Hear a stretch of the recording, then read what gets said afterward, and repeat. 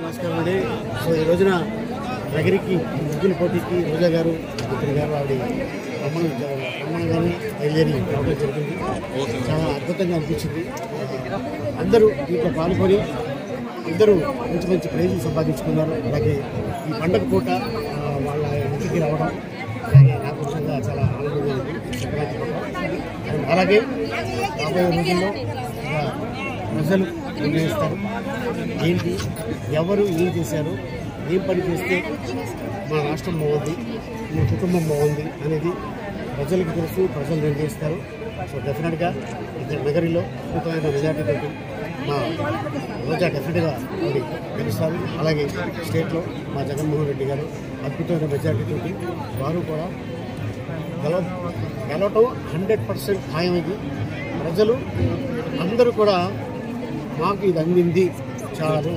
మా బిడ్డ మాకు మాకు ఇచ్చినట్టు నా కొడుకు నాకు ఇచ్చినట్టు నా మావయ్య నాకు ఇచ్చినట్టు నా మనవడు నాకు ఇచ్చినట్టు అని ప్రతి ఛానల్స్లో ప్రతి చోట ఎక్కడికి వెళ్ళినా కూడా పెద్దోళ్ళు ఆడోళ్ళు చాలా అద్భుతంగా చెప్తుంటే నిజంగా ఎస్ ఇది కాదా నాయకుడి లక్షణాలు సో అందుకోసం డెఫినెట్గా రాబోయే రోజుల్లో మా ముఖ్యమంత్రి గారు ఏదైతే వన్ సెవెంటీ ఫైవ్ అంటారో ఆ వన్ సెవెంటీ ఫైవ్ మేము అతి త్వరలో గెలవబోతున్నాం టూ జీరో ఫిఫ్టీ ఫోర్లో సో ఒక అద్భుతమైన అవకాశం కల్పించిన రోజా గారికి అలాగే పాల్గొన్న మిత్రులకి మీడియా వారికి అందరికీ ధన్యవాదాలు థ్యాంక్ యూ సార్ మహిళ పోటీ చేసే అవకాశం.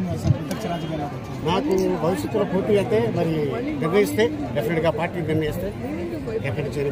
పవన్ కళ్యాణ్ వాకిల పైన మీరు ఏమంటారు సార్? డైమండ్ రాణి అన్నారు కదా రోజా గారిని మంత్రి చెప్పారు డైమండ్ అని అన్నారు కదా సో డైమండ్ అనేది చాలా పవర్ఫుల్ అది అది కాస్ట్లీ సో డైమండ్. సో అందుకోసం మనం ఎప్పుడు కూడా మాట్లాడుకుంటాం కదా.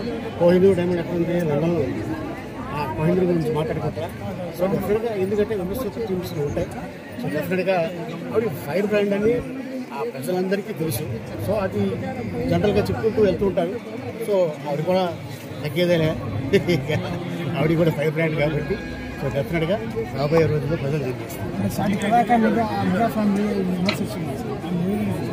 అంటే అంటే నా ఫ్యామిలీ ఆవిడ ఎవరు కూడా ఎందుకంటే చట్నీ కడతా ఆవిడ ఏదో సినిమాలు చేస్తున్నారు పరిచయం ఉంది.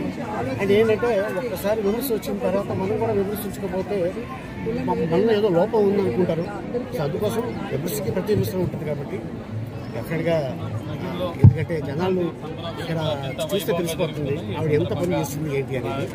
రాబోయే రోజుల్లో తెలుసు. ముందు ఎందుకంటే జనాలు ఇక్కడ చూస్తే తెలిసిపోతుంది ఆవిడ ఎంత పని చేస్తుంది ఏంటి అనేది. రాబోయే రోజుల్లో తెలుసు. ముందు గ్రేట్ సార్ ఇంకో విషయం సార్. రాష్ట్ర ప్రజల తరఫున అడుగుతున్నాను. ఈ గతంలో పవన్ కళ్యాణ్ చాలా మిత్రులు ఇప్పుడు కూడా ఇదేముంది సినిమా వేరు రాజకీయం వేరు ఫ్రెండ్షిప్ వేరు. ఒక ఇంట్లో ఉన్నవాళ్ళు ఒక పార్టీకి అందరూ ఓటేయాలని. మనకి తెలియకుండా వేరే పార్టీకి ఓటేసి నువ్వు చెప్పిన పార్టీకి ఓటేసాం అంటారు. సో డెఫినెట్గా ఎక్కడి నుంచి పోటీ చేయమన్నా నేను సిద్ధంగా ఉన్నాను. నేనా? అదే అంటున్నాను కదా.